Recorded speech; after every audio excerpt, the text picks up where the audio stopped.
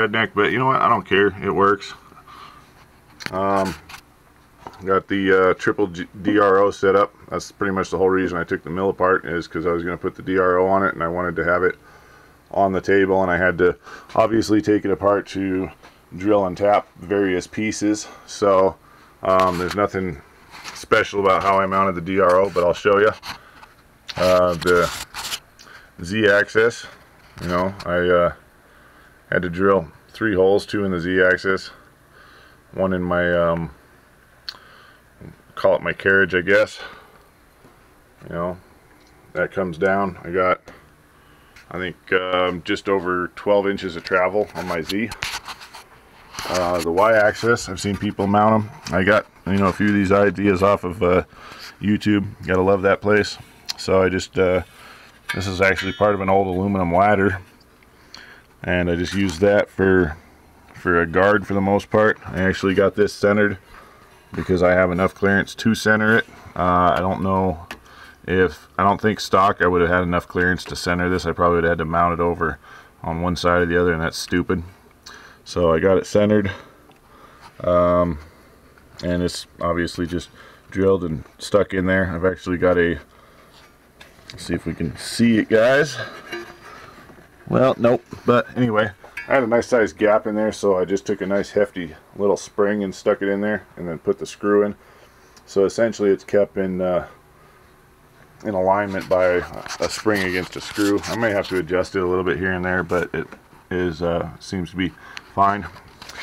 And then, um, yeah, the uh, my other axis here, I put this one a little further back because um, I have been thinking and I could, you know, you could easily, with a little bit of modification, maybe make a piece that screws on and then set screws in so it pulls your handle out a little bit and you can push, because you have where this uh,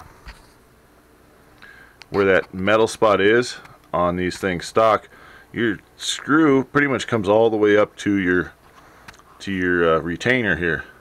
So you actually have almost a three quarters of an inch of screw in there that doesn't get used. So why not push your screw back and get you know at least another half of that? So I actually went a little bit long because I could make it to where I push it back even further. But with how it is from front to rear it actually comes like 5 eighths inch over each side.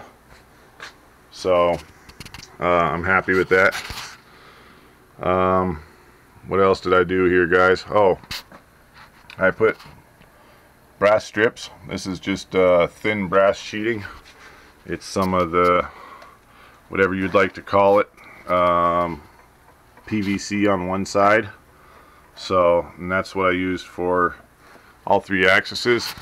Um, my x-axis, getting that on there when I put that sheeting in there, uh, I actually had to take my whole table apart again, which was a pain in the ass, and put it in from the side because it was just, you know, a minuscule amount short of sliding down in there. And I actually tapped it a couple times with the uh, with the dead blow to see if I could get it to slide past because that's how close it was but it uh, it didn't seem like it wanted to go and I wasn't going to force it so I had to take it all apart and put it in from the side if I do take it back apart I'll probably grind just a hair off of the inside of this dovetail on the top and it will slop right in there.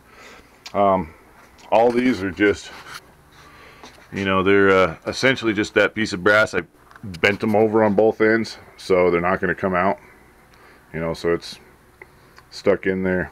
And uh, the way I did it is when I had it off I uh, I used my gib strip. I put the brass in.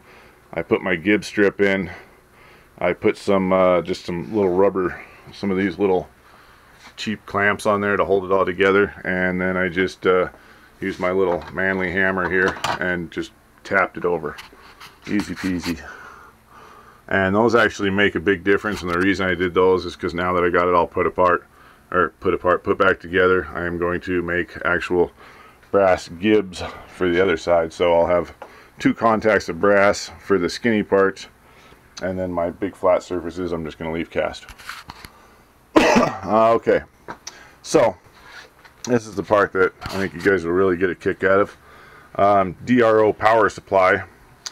Um, for these ones, I will admit these are at, I'm going to probably build a little plate so I can kick out the bottom of these a little bit because how I got them mounted, if you guys can see this, but it's mounted on this plate here, which has my box mounted on it too, my floppy box. Um, but yeah, these are, you know, they're called Easy View Dro, but the, the simple fact is, you want to build these to where they're, when you put these on, to where they're pretty much face directly at you, and these ones have a slight down tilt, so when I have them on and I'm standing at my height, which is 6'4", I can read them, but they're kind of grayed out. Whereas if I come down here and look at them, they're nice and black. So keep that in mind if you put any of these DROs on as you want it, where that DRO is slapping you right straight in the eyes as opposed to um, tilted up or down. Uh, so that's smoker's cough there, guys. Good habit to quit. Okay, so these they sell the power supply. Um, eBay, I think, once like $17 or something per DRO power supply. Uh, you can get them from Grizzly for 10 bucks or something, but I'm on a screw Grizzly uh, boycott trip for life. So I uh, made my own power supply. Went down to our local Radio Shack, which is becoming more a uh, a consumer electronics store as opposed to a an actual electronics store. And I bought out their last four, um, whatever you want to call them, barrel connectors. These are size. Let me check just so I don't give you guys the wrong size. Ain't no point in spending money you don't have to. I had the right drawer. So these are size 8 and they call them coaxial. Um, if you I actually soldered all my connections because well why the hell not? So with these H coax connectors so you guys give you a heads up the inside is positive the outside is negative. I mean I soldered all these connections guys. You know these are soldered these three wires are soldered together into here. These were already tinned. And well I didn't solder the ones in there, but uh, no, that's a lie. I did solder the one pair, and I'll show you that here in a second. So what I made this power supply out of was uh, a treadmill um, power supply, one of the ones that I discussed earlier, not the actual um, power supply for the large DC motor, but the secondary power supply out of the older treadmills.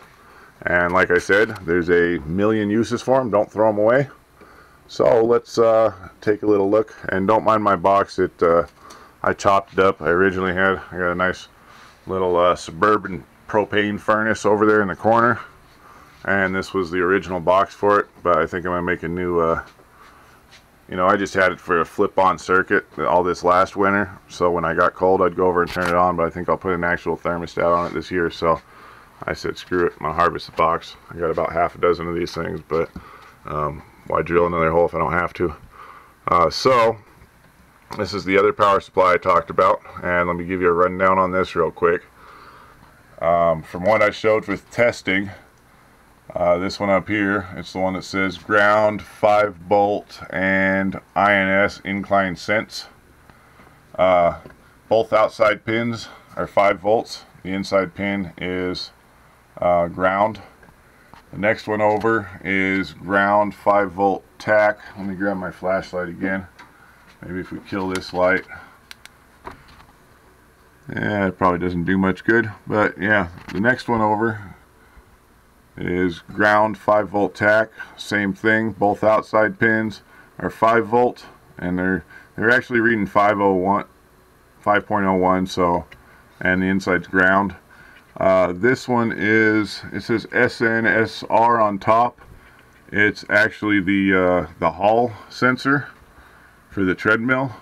This one reads 5 volts and you see I got the little two prong plug. I originally hooked it up to this one and it wouldn't give me enough power to power these. So even though it reads 5 volts, I don't think the amps are there. They are in the incline sense, however. Now this one, it's got all the pins. I'm not going to read them all off. Uh, the end pin, obviously it says G GND is ground. The other one says 9 plus, or plus 9 volt, I should say. And that was actually reading at almost 12. Um, and then I didn't really go into much of the other ones. This one, if you use it for something else, is your uh, potentiometer control. Uh, I put some tape over here and here. These are actually ACs. Both these are hot. And then this is your ground.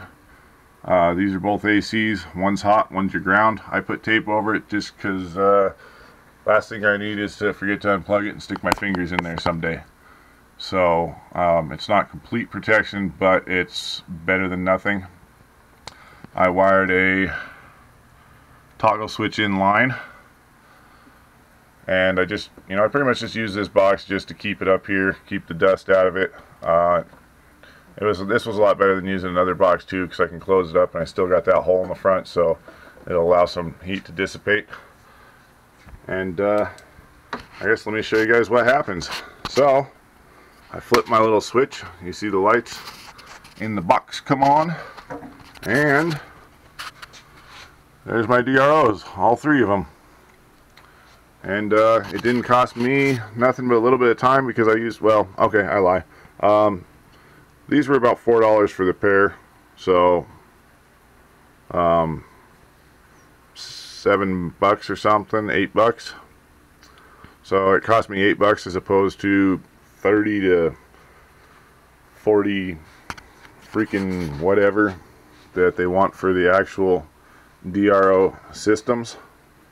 Uh, so these don't have any batteries in them. Um, they're strictly running off the electric and I don't know if you guys can see this but you can't see them and you can see them great so that's what I was talking about and just to show you there's all my batteries so those are running off nothing but electric um, well, shoot, guys. Uh, I don't think I missed anything. Um, if you have any questions, when you turn that off, it does take a few minutes for them um, to uh, bleed all the power off before they die. But you know what? Whatever. Um, okay, so I don't think I missed anything. If you have any questions, uh, don't hesitate to ask. If you like any of the content, uh, give me thumbs up or subscribe or something. I think I'm up to two subscribers. Woo! You know what? I don't really care. If you watch my shit, you watch my shit. If you don't, more power to you. You probably know more than I do anyway. So, uh, yeah, I guess, you know, this one I ran the cord underneath, comes up. That one ran the cord there. That one I ran the cord there. Just kind of zip tied them all together here and there to uh, make sure they don't uh, get anywhere they're not supposed to. Uh, hmm, hmm, hmm, hmm. Yeah, damn, guys.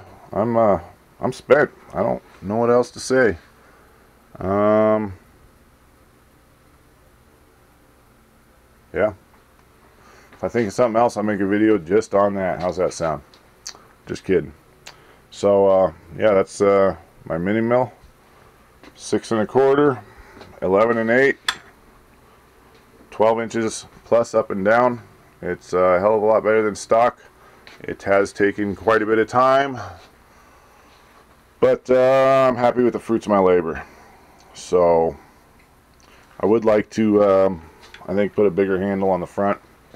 And I do have a power feed planned as well. I have Buku electric motors. I take apart everything I can that's, uh, you know, old drills, whatever battery drills, not necessarily electric drills, they're still worth something, but you know, you can pick up all kinds of tools with electric motors for um, free if you keep your ears open. Scrounge around, man.